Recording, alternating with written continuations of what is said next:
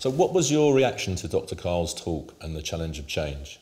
The IGR is a necessity because you always need to take a snapshot or pause and have a look at where you're at. It's time that Australians embrace their decision making ability of where to go in the future.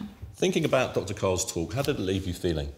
Excited and scared is how I felt after seeing the talk. It was good to be presented with the challenges ahead because I think sometimes Australia as a country is quite relaxed. Mm. We don't like thinking big picture, we like to think small picture.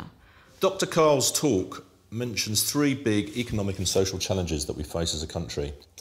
What do you think of these challenges? I definitely think that the ageing population we need to start thinking a bit more carefully about. I think we're aware of it. I don't think we are admitting the seriousness enough. What ideas do you have for what needs to change and what needs to happen? With the ageing population, it's an interesting one. Actually, I did some calculations. What if I imposed a three day week, but the retirement age was 80, 85? And guess what? If you look at days in your life worked, if you work three days a week until you're 85, you work more days than if you work five days a week until you're 65, which in the end is more tax dollar, you know, there's more productivity happening.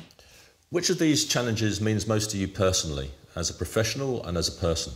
Personally, for me, it's infrastructure.